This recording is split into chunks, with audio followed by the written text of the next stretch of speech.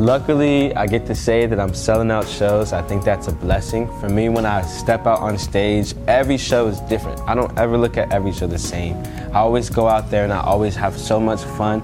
Sometimes I even see different sides of me, and sometimes I even get emotional in different segments.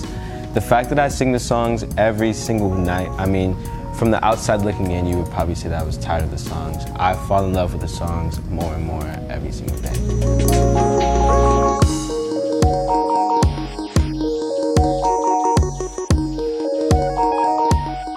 Uh, I love touring. I mean, I, I can't wait to be in Hong Kong. I feel like it's going to be amazing.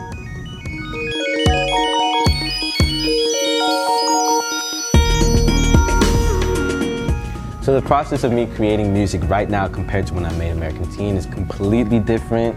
I've learned so much about recording. I've learned so much from other artists, from collaborations that I've done. I'm just so happy that I get to do what I do and I get to have the ability to, to expand my mind through whatever process it is. On the last EP I did, I actually produced my own song, Motion.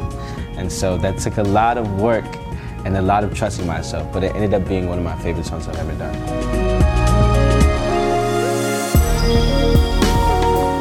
So the Suncity EP is definitely not the album. It's not the album. I'm really excited about the album and it will definitely come out in 2019.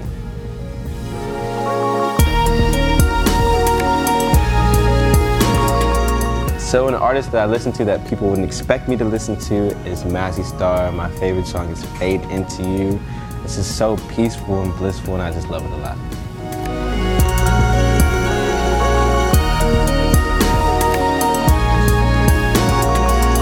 So when I found out I was the third most streamed artist in the world, I was actually at We Can Survive, a benefit concert in LA. Um, I was with my friends and my team. Uh, I don't even know if I really celebrated any much. I guess you can say eating cupcakes at my house with all of my homies was a celebration. But it's a blessing, and I can't believe that that many people all over the world are listening to me. Like the world. It's insane, and I surprise myself every day.